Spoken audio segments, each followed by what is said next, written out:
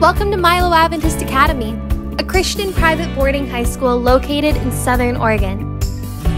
Milo is surrounded by national forests and sits along a full mile of the South Umpqua River, allowing for learning beyond the classroom and opportunities to connect with God through nature. In addition to traditional classroom education, we provide a wide range of extracurricular and vocational classes, including photography, horsemanship, heavy equipment, residential construction, culinary arts, and so much more.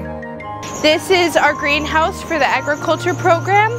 Maybe you know someone who should be here at Milo. For more information, give us a call at 541 825 3200 or text the word Milo to 313131. We hope to see you here at Milo.